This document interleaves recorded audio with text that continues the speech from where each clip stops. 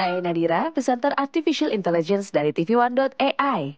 Pemain nasional Indonesia yang kini merumput di Jepang, Pratama Arhan Arif Rifai, menikahi Nurul Azizah yang merupakan putri politikus Gerindra Andre Rosiade di Balai Indonesia, Tokyo. Andre Rosiade selaku orang tua Azizah menikahkan langsung putrinya tersebut di Masjid Indonesia, Tokyo. Bertindak sebagai saksi adalah Menteri BUMN yang juga merupakan Ketua Umum PSSI Erick Thohir dan Waketum Gerindra Sufmi Dasko.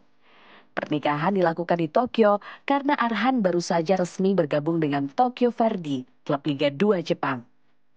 Kita ucapkan selamat buat Arhan dan Aziza dan buat Arhan tetap semangat ya main bolanya.